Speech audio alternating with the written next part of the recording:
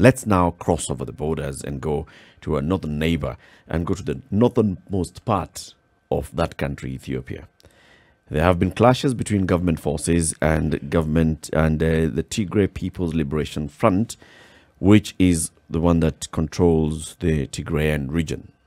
So, according to what we're seeing in the news coverage this morning, just looking at various head- headlines, last one hour, BBC News says Ethiopia's Tigray crisis, civilians massacred, says Amnesty International. CNN, mass killings of civilians in Ethiopia's Tigray region, according to Amnesty. And one hour ago as well, on Sky News, dozens hacked to death as Tigray region fighting intensifies, according to Amnesty International. So Amnesty International has come up with this report, and they say that uh, there was a lot of uh, civilian um, death that was witnessed around Monday in that region, in the Tigray, in the northern uh, Ethiopian region. And this was, according to Amnesty International, orchestrated by the forces that are loyal to TPLF, that's the Tigray People's Liberation Front. You know what has been happening here? It's a large scale conflict between the government, the national government, and the, the local administration of the Tigray region. And we have seen also hundreds of people, actually thousands of people, reportedly crossing over from their country into Sudan, where they're seeking refuge. And Sudan has already said they're going to set up um, a refugee camp that's going to accommodate the people who are crossing over this region. What is this that's happening in Ethiopia, and why is it just you know uh, so sudden? It appears like something that was really building over time and a long time, and then it just hit that boiling point.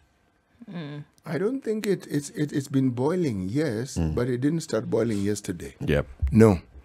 Uh, what Ethiopia has is something that was experimented on uh, in Yugoslavia, the former Yugoslavia. Mm-hmm. Uh, it's usually termed as ethnic federalism. It comes with very many challenges. Mm. You have a federal government, essentially, you are semi autonomous, but it is your people who speak your language, who have your culture, who have your background. And the government that happened to have been in power before Abiy Ahmed came in was dominated by people from the Tigrayan area. Mm. So, remember, there were protests by people who come from the Oromia area, mm. the Oromo, okay? Mm-hmm. Over a period of time, over a period of time, and there are those who argue this was is it's what ushered in the current prime minister, someone who represented younger people. Mm-hmm.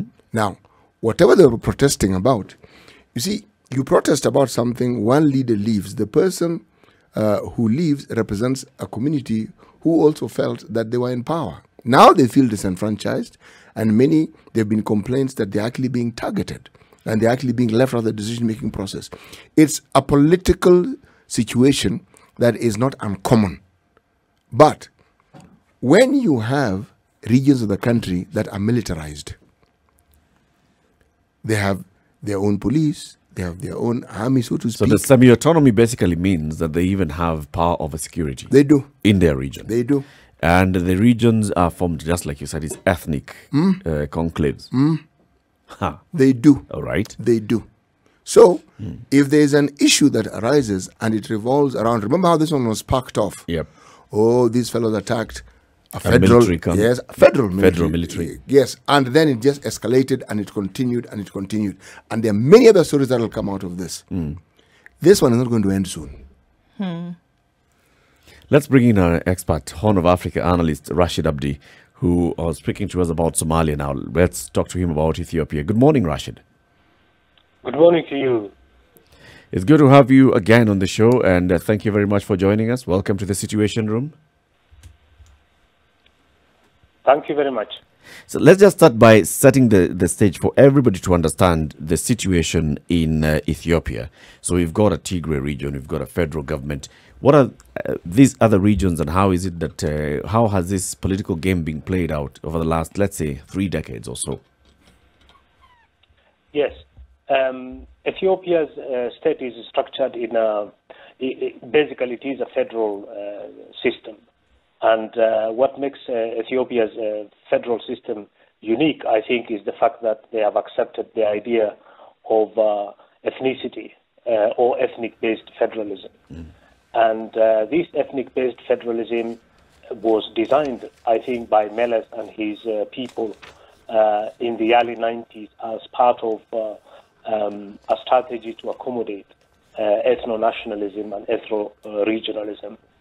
And um, to some extent, it did, I think, bring down some of the tensions uh, that were in the country. Mm-hmm. Um, it gave the regions uh, greater autonomy um, for them to be able to feel uh, that they are governing themselves. Mm. Um, but then I think because the federal system uh, eventually didn't work out properly, we saw how quickly discontent uh, began building up in many of these uh, federal states. And it was this, um, I think, discontent that eventually uh, catapulted um, uh, Prime Minister Abiy to power because mm. there were six years of rolling non-stop uh, discontent and uh, uprising in many parts of Ethiopia that eventually culminated in, uh, um, you know, the crisis which led to Abiy becoming the prime minister. So yes, um, I think one has to understand that context, uh, the ethnic uh, federal arrangement that to some extent did uh, help stabilize Ethiopia, but because it didn't work out properly, I think eventually uh, began to foment uh, the crisis we see today. So, even with this and how then the Prime Minister came to be Prime Minister, then there are certain uh, sections of the population that are not happy, isn't it? If we can put it as simply as that. Yes. There has been um, a lot of uh, um, discontent and protests in uh, Oromia for a number of years. Mm despite the fact that uh, the prime minister is Oromo, mm. we have seen actually um, Oromo discontent actually escalate, yep. Hmm. and uh, this also problem has has also intensified in other parts. The Tigray problem is also uh, a classic um, center periphery tension, which has escalated and now has become a serious uh, conflict. How have they run their governments? I mean, yes, there is a federal system ethnic based have they been have they had consensus as in some sort of coalition understanding where when it comes to running the actual government of Ethiopia people feel that they are represented? There have been attempts uh, to um, build some kind of uh, cohesion between the various ethnic uh, communities in Ethiopia. And um, the EPRDF I think was a precursor um, the, it, it, the Ethiopian People's uh, Revolutionary Democratic Front basically was a coalition of, of a number of parties. Um, and uh, Prime Minister Abiy actually uh, dismantled the, the old EPRDF and built his own Prosperity Party, mm. but along the same model, which is uh, bringing together uh, all these ethnic uh, constituencies into some kind of a grand umbrella. Something like the Jubilee Alliance of Kenya, for example. Uh, the idea is the same. It's about uh, building a big tent kind of uh, politics in, in Ethiopia. Mm. But unfortunately, it hasn't worked out because Abiy, despite those positive traits, I think has, has become, has monopolized power um, has actually bypassed many of those uh, party and uh, um, you know governmental institutions and has become essentially, I think, a one-man uh, rule, which um, has has I think uh, exacerbated or aggravated the current crisis in Ethiopia. So, so with the current crisis that we see, then if we're looking specifically, what is the bone of contention? To push for this shared government, shared way of doing things, to remove the current prime minister that has then now resulted in the clashes that we see. What is the one thing that we would say if this was sorted out, then you would likely see steps towards peace? Yeah. Um, the current crisis is uh, um, has been brought about by, I think, many factors. Um, and it was very clear uh, for a number of months that this crisis will eventually end up in a conflict. Because what we saw was basically one escalation after another. Mm. The Prime Minister cancelled uh, the elections, and uh, uh which were due in August this year, and said that um, this was because of the COVID uh, situation in the country. Um, the TPLF dissented and basically said that um, there is no way they can uh, postpone the elections. And then they went ahead and actually uh, held their own elections, uh, which were concluded uh, a month ago. Um, so that was one major, I think, uh, bone of contention that uh, you had a region basically breaking away from, from the central arrangement, electoral arrangement, and conducting its own election. That was seen as a huge um, challenge to the prime minister. Um, but then there were other, I think, factors. One of, uh, some of them historical. The TPLF uh, basically retreated back to uh, Tigray, and uh, uh, it was part of the um, coalition, the EPRDF, and um, exercised a lot of power uh, during Meles' time. Mm. Now, once Abiy came to power, he, he, he began dismantling some of the power structures which gave the TPLF, uh, you know, that leverage. Um, TPLF officers were were removed from from major uh, parastatals of the state. Mm-hmm. Um, a major uh, military industrial uh, complex um, where the TPLF had uh, a lot of power was was uh, uh, dismantled. So there was, I think, a deliberate effort by Prime Minister Abiy to basically undermine the TPLF. But was it undermining the TPLF or was it trying to bring about equity? Because you could argue yeah. that um, one of the things that even elevated him to power is because there was a lot of disgruntlement among the population that the Tigray had dominated positions of leadership for a long time. That's one way of, of looking at it. Um, but there was undeniably um, a very deep purge of uh, the TPLF. Uh, but then that was not enough. I think um, the TPLF was a very strong party. The region was very uh, influential. And all the, I think, maneuvers by Prime Minister Abiy in, in, in the last two years have been geared towards, uh, I think, dismantling uh, the TPLF and Tigray to weaken Tigray. Mm-hmm. Uh, there should be no, I think, um, uh, doubt that this is a prime minister who has been plotting for many years to bring down the TPLF and also to destroy, uh, to basically uh, weaken Tigray. And he has found a very powerful ally in the president of Eritrea, uh, Isaias Afewerki. Isaias Afewerki uh, has a lot of unfinished business with Tigray.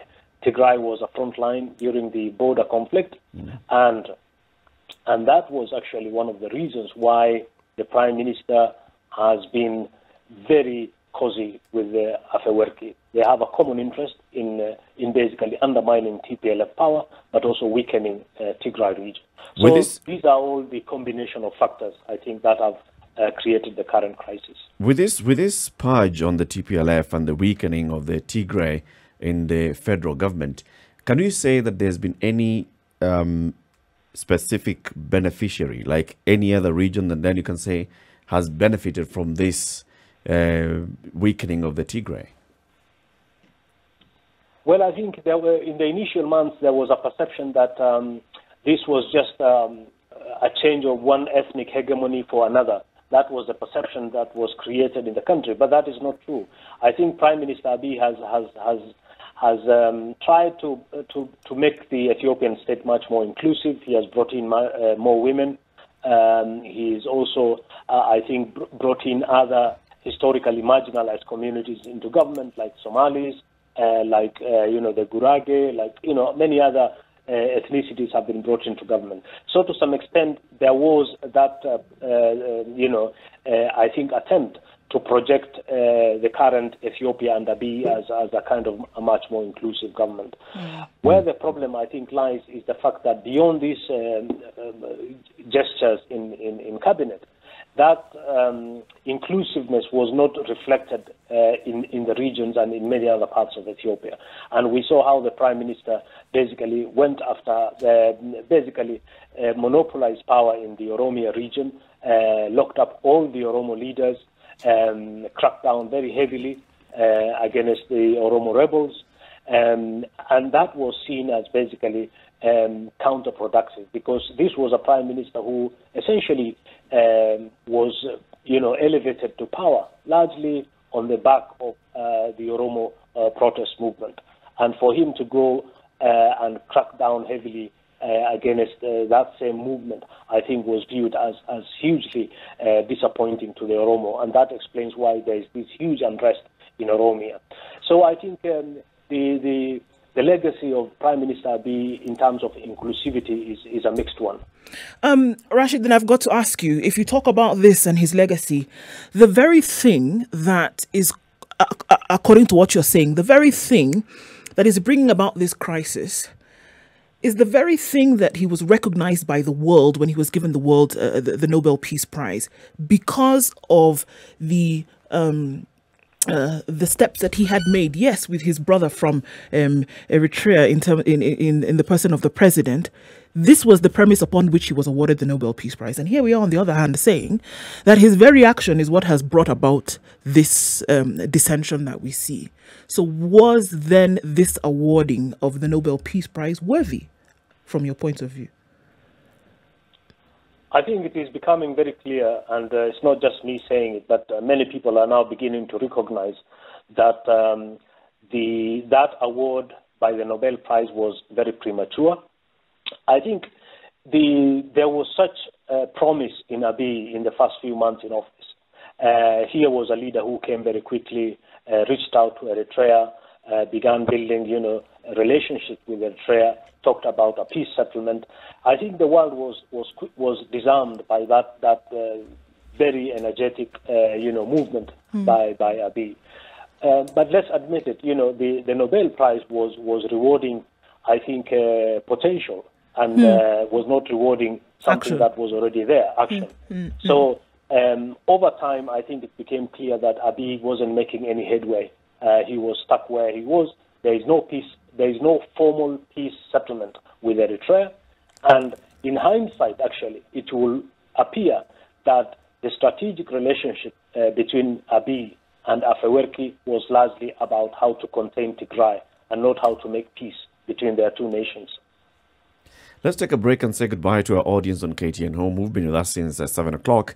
This is the Situation Room. It's Kenya's biggest conversation. We're having a conversation with uh, Horn of Africa analyst Rashid Abdi, uh, dissecting what's happening, what's unfolding in Ethiopia. There has been some major conflict between the federal government and the regional government of uh, Tigray, where the federal government had accused the regional government of uh, sponsoring attacks on a federal military camp. And then there was serious uh, dropping of the hammer on that region. Many people have fled. Amnesty International says that um, many have been killed in that conflict so far. We know that there are many who have crossed over from Ethiopia into Sudan. Uh, seeking refuge. Let's continue that conversation. If you'd like to join the conversation on Spice FM, it's 94.4 in Nairobi and Mombasa is 87.9, 102.5 in Kisumu, Nakuru is 96.0, 96.7 in Eldoret, Nyeri 90.9, and Malindi 97.7. See you again on Monday, KTN Home, and thank you very much for tuning in.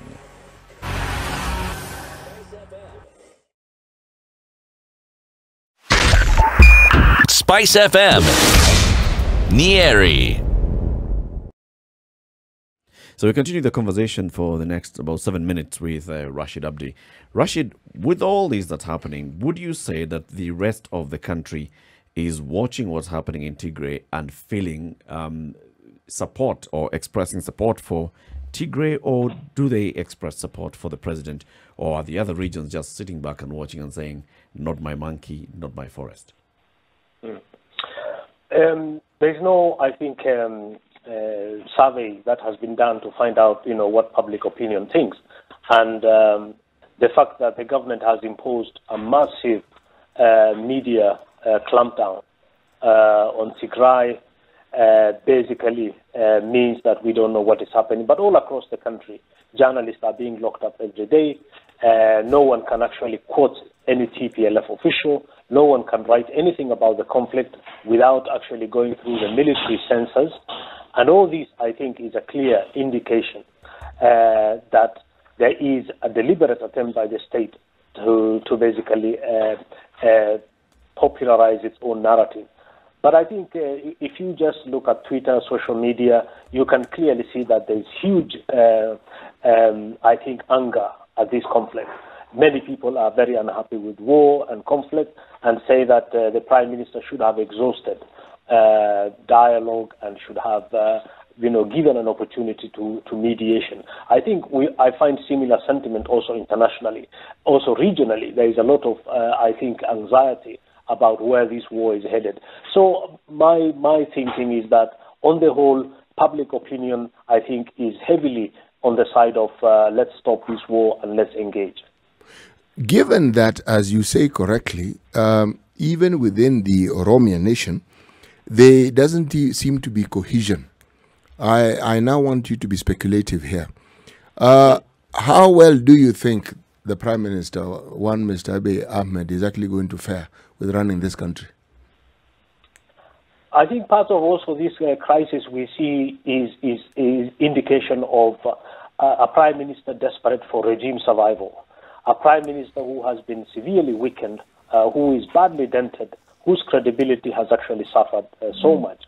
And if he can create, I think, an emergency situation in which he can prolong his rule and then somehow find a way to uh, maneuver himself through an election, that so regime survival calculations are part of this crisis. They are not, they are not extraneous to it. They are part of this uh, crisis.